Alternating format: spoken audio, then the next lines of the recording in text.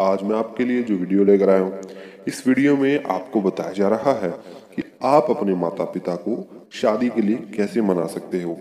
देखिए mummy papa को शादी के लिए मनाना हर एक लड़की के लिए, हर एक लड़के के लिए बहुत ही मुश्किल काम रहा है।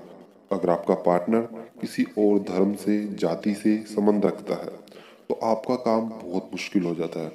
आप अपने माता पिता को नहीं मना पाते।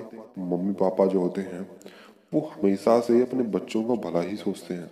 वो सोचते हैं कि ये नादानी में कोई गलत कदम ना उठा लें उनको क्या पता है कि रिश्ते कैसे जोड़े जाते हैं। अब भला, आपकी बातों कौन सुनने वाला था? ऐसे में तो कई माँ बाप ऐसे होते हैं जो अपने बच्चों की कहीं और शादी तय कर देते हैं। जब उनको पता चलता है कि उनका कहीं और बाहर अफेयर चल रहा है तो ऐसे में अगर आपको भी लग रहा है डर कि मेरे माता पिता शादी के लिए कभी तैयार नहीं होंगे तो आज की मेरी इस वीडियो को अंत तक सुनकर ज़रूर जाना। इससे आपको फ़ायदा देखने को मिलेगा और जिन्होंने अभी तक चैनल को सब्सक्राइब नहीं किया है, उनसे मेरी छोटी सी रिक्वेस्ट रहती है चैनल को ज़रूर सब्सक्राइब कर लें। देखिए माता पिता को मनाना देखा जाए तो कोई मुश्किल काम भी नहीं है एक महाभारत के समान भी है। करना क्या है आपको? वो बता देता हूँ। जब भी कभी आप अपने माता को या अपने पिता को जब बात बताने के लिए जा रहे हैं तो आपने ध्यान रखना है कि सीधे तौर पर आपने कभी भी नहीं बताना। आपने आहिस्ता आहिस्ता उन्हें बताना होगा और कभी भी जब आपको लगे कि आपके माता पिता बहुत नाराज़ हैं या फिर अच्छे से बात नहीं कर रहे हैं, तब कभी ना बताएँ।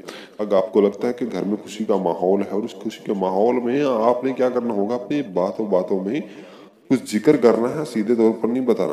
आप अपने फ्रेंड के तौर पर भी बता सकते हैं या फिर पहले उन्हें मिलवा सकते हैं, उनकी फैमिली से मुलाकात करवा सकते हैं।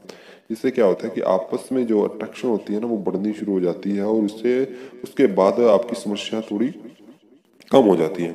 अब करना क्या है, चलिए मैं आपको वो भी बताता हूँ आगे और विधि कि आपको कैसे इस्तेमाल करना सब क्रिया को। जब अपने माता पिता का बता रहे हो तो सबसे बड़ी जो अहम बात होती है कि आपके पार्टनर जो है करता क्या है। वो सबसे बड़ी बात जो हर किसी के माता पिता की ज़ुबान पर होती है कि आखिरकार लड़का है या लड़की है, वो करते क्या है? इसके लिए क्या करना होगा आपको?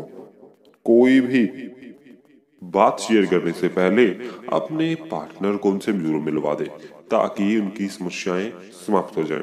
तो आपको करना हो गया होगा ये जो मैंने अभी आपको कार्य बताए अपनाने चाहिए। इसके अलावा ज्योतिष उपाय की अगर मैं बात करूँ तो आपको क्या करना चाहिए? आपकी कुंडली ये चेक करवा, ज़रूर करवा लेनी चाहिए। कि कुंडली में किसी प्रकार का कोई दोष तो नहीं चल रहा। आखिरकार आपके काम बन भी जाएँगे, नहीं बनेंगे। तो इसके लिए आपने कुंडली में योग के अनुसार ही कार्य करें। कुंडली में बाधा होगी तो उसके उपाय करें। उसके बाद अपने माता पिता से बात शेयर करें। ये चीज़ें आपने डिपेंड करती हैं आपके ऊपर। तो उम्मीद है आपको वीडियो पसंद आई होगी। कुंडली चेक करवाने के लिए आप हमें कॉल कर सकते हैं। मिलते हैं नए वीडियो के साथ। आज की इस वीडियो में इतना ही। Like share comment